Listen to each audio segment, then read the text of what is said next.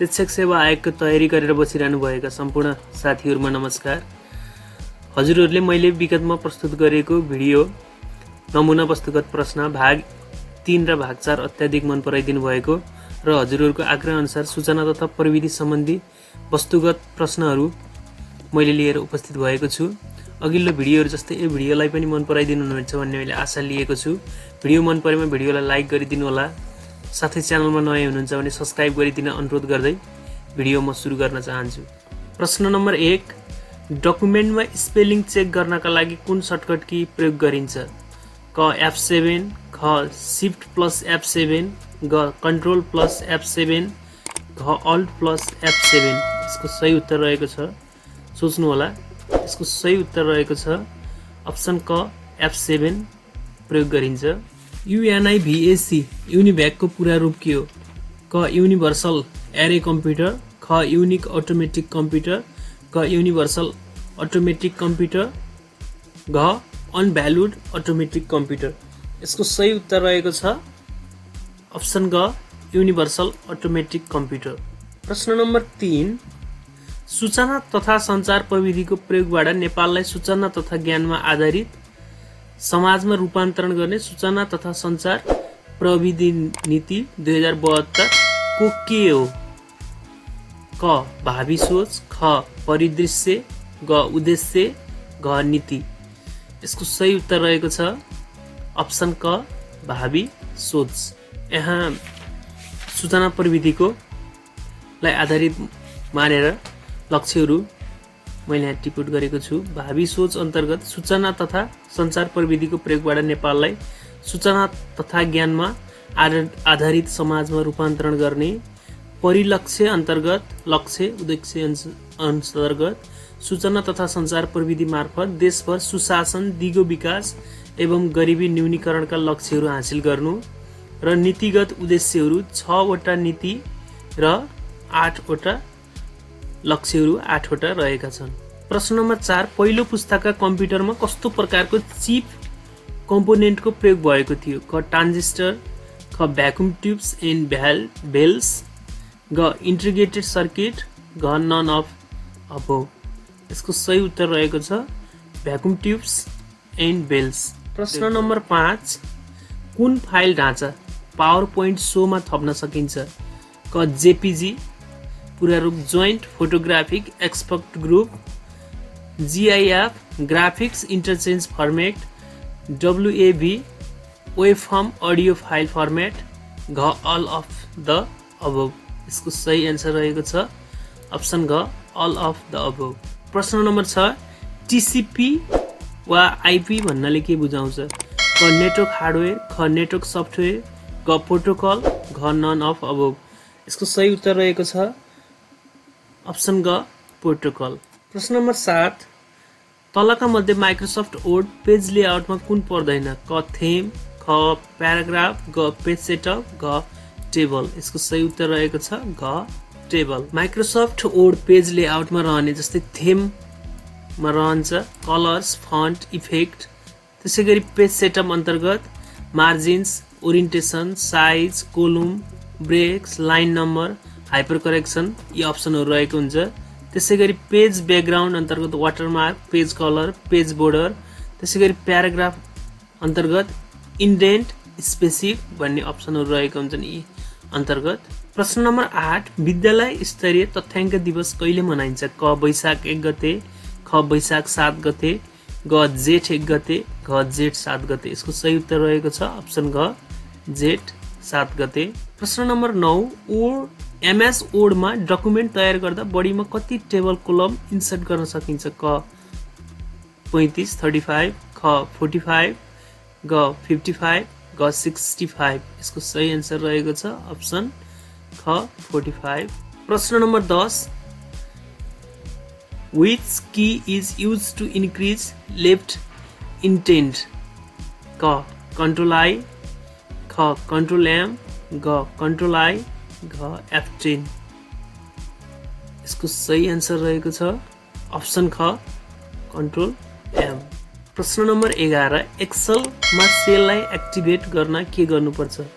क pressing the tab key ख clicking the cell ग प्रेसिङ एन्ड एरो की घ अल अफ द अबभ यसको सही उत्तर रहेको छ अप्सन घ अल अफ द अबभ प्रश्न नम्बर बाह्र एमएस ओडमा कन्ट्रोल प्लस पी दबाउँदा ले तलका मध्ये केलाई बुझाउँछ?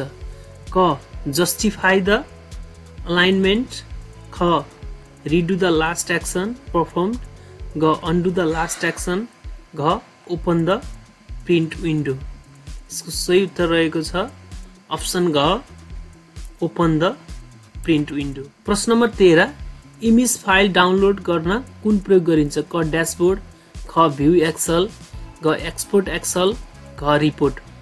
यसको सही उत्तर रहेको छ अप्सन ख भ्यू एक्सल। प्रश्न नम्बर चौध बिसिडी भन्नाले के बुझाउँछ? क बाइनरी कोडेड डेसिमल ख बिट कोडेड डेसिमल घ ग बाइनरी कोडेड डिजिट घ बिट कोडेड डिजिट। यसको सही उत्तर रहेको छ अप्सन क binary coded decimal.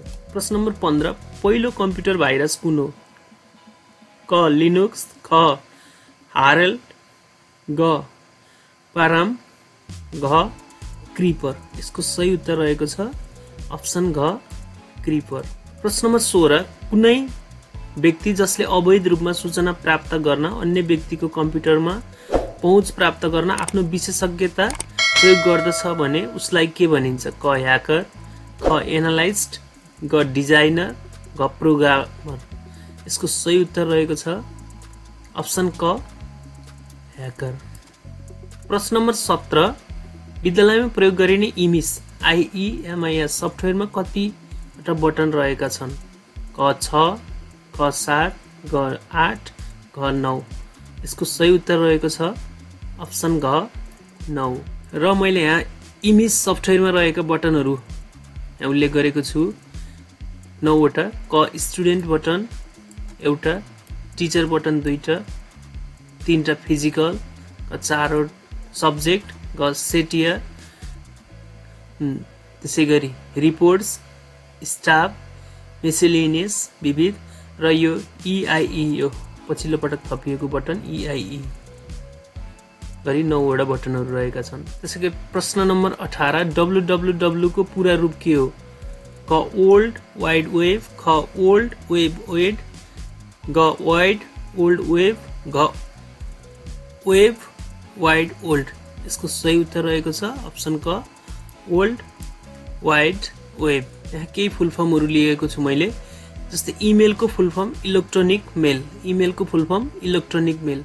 YAHOO याहुको full form yet another hierarchical officious oracle गुगलको full form global organization of oriented group of language of earth त्यसै गरी कम्प्युटरको full form common operated mechanic sorry common operated machine particularly use for technical education and research फेरि एकपटक कम्प्युटरको पुरा रूप common operated machine particularly use for technical education and research प्रश्न number उन्नाइस which of the following is best for quick operation copy and paste सबैभन्दा छिटो copy र पेस्ट गर्नलाई कुन चाहिँ विकल्प उपयुक्त होला यसको नेपालीमा? Copy and paste Windows clipboard ग ड्र्याग एन्ड ड्रप ग अटोटेक्स्ट यसको सही उत्तर रहेको छ अप्सन ग ड्र्याग एन्ड ड्रप प्रश्न नम्बर बिस आइइएमआइएसको पुरा रूप के हो? क integrated educational management information system ख। Integrated education management information system ग। Integrated educational management informative system घ integrated educational manager information system यसको सही उत्तर रहेको छ अप्सन क integrated educational management information system integrated educational management information system मैले इमिज सम्बन्धी केही जानकारीहरू ल्याएको छु। शैक्षिक सत्र दुई हजार एकहत्तरमा शैक्षिक तथ्याङ्क सङ्कलन विद्यालयगत रूपमा school level excel base software विकास गरी परीक्षण गरिएको पहिलो पटक परीक्षण गरिएको दुई हजार एकहत्तर सालमा। त्यसै गरी सही सत्र त्रिहत्तरदेखि यसले शैक्षिक तथ्याङ्क सङ्कलन विषयगत रूपमा school level excel base software विकास गरी अनिवार्य रूपमा सङ्कलन गर्न लागि अनिवार्य रूपमा दुई हजार त्रिहत्तरको शैक्षिक सत्रदेखि त्यसै गरी विद्यालयले शैक्षिक त्यस शैक्षिक वर्षको चैत तेइस गते र जेठ सात गते इमिसभरि बिस गतेभित्र जेठ सात गतेसम्म इमिसभरि जेठ बिस गतेभित्र स्थानीय तह र शिक्षा विकास समन्वय इकाइमा जेठ मसान्तभित्र बुझाउने र मानव विकास स्रोत केन्द्रमा व्यवस्थापन शाखामा पठाउनु पर्ने र हालसालै दुई हजार पचहत्तर सालदेखि चाहिँ इमिसलाई अनिवार्य रूपमा इन्टरनेटमा अपलोड गर्नुपर्ने व्यवस्था गरिएको छ। धन्यवाद। आजको यस भिडियो यति नै। अर्को भिडियोमा म पुनः भेट्ने बाचा गर्दै हजुरहरूले यस भिडियो मन परेमा अनिवार्य रूपमा लाइक गरिदिनु होला। साथै च्यानलमा केही आफ्नो मनमा लागेका सुझावहरू कमेन्ट मार्फत बताइदिनु म अनुरोध गर्दै यस भिडियोबाट बिदा हुँदै अर्को भिडियोमा पुनः भेट्ने बाचा गर्दै बिदा हुन चाहन्छु। धन्यवाद।